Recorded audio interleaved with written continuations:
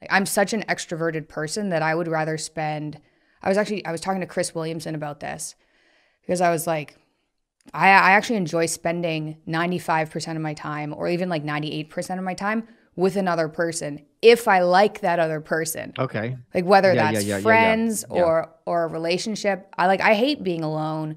Even if I'm working, I used to go work in cafes, so I was so at least there were people around me. And he said he was like the opposite. He'd rather spend 95% of his time alone. It's like, ugh. I, don't like that at all. used to be like that until very recently, and I don't know what changed in me, but I always consider myself to be a hardcore introvert. I still do, but now I'm realizing that if I don't like see someone every day or like fairly regularly, I start to go crazy, and that I'm not as introverted as I thought I was. Now that that being said, I don't think most people are are fun to spend extended amounts of time with. Um Yes. like like you said like a lot of people like they're just it's just like small talk or like you know their opinions on whatever's in the news.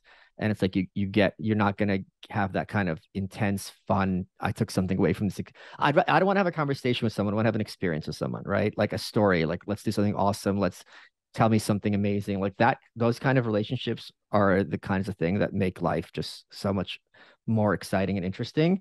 Um and not that many people can deliver that. Uh but yeah Mhm, I, I I mhm. the other thing that's a problem that i had to learn is when you your brain tries to get you to to isolate when it's not doing well. So if you are like feeling lonely it'll tell you not to reach out to people and then it becomes this spiral and you have to override it and be like okay my brain's giving me the absolute worst advice.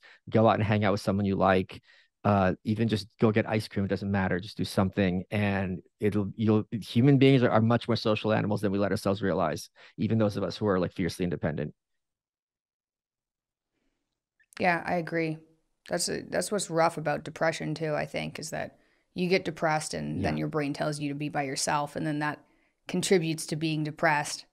And yeah, like you said, that's rough. But good things. it, I, good things. So getting getting I married had- was good.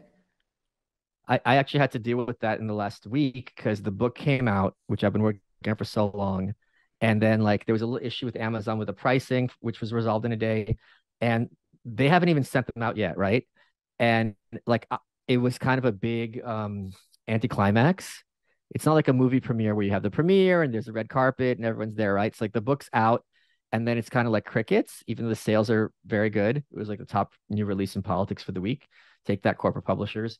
And then I was talking to my buddy, and she's like, "You're you're so used to s- media where you put out a tweet or a YouTube and you get instant feedback that when you didn't get that, you're thinking this is like a flop, even though you haven't even started your promotion tour. So no wonder you're like feeling like all like, like all kinds of way. And when I realized that, I'm like, holy crap, this is as old media as it gets, like books. Give it time to breathe. It hasn't even reached people's hands yet. Then I was like, oh, okay, yeah, yeah, I can relax. I just I am someone who's very bad, and I'm sure a lot of your listeners are the same way. Someone who's very bad at relaxing and telling myself it's okay to have a day where you're just messing around and watching shitty TV and and just not doing anything. It's it's fine, you know what I mean? Like, but I, it's hard for me to do that sometimes, especially after two years of working on something that's so intense.